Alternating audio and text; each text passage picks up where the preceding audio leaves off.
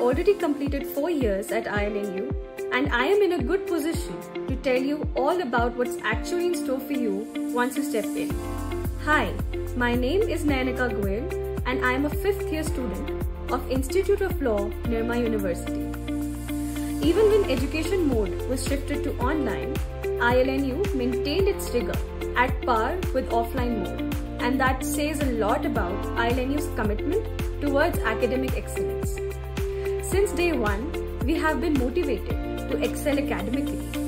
In fact, the entire curriculum is designed in a manner that it inspires you to think independently, critically, and engage beyond what is taught in the classroom. What stands out for me the most is that ILNU encourages us to really balance our co-curriculars with academics.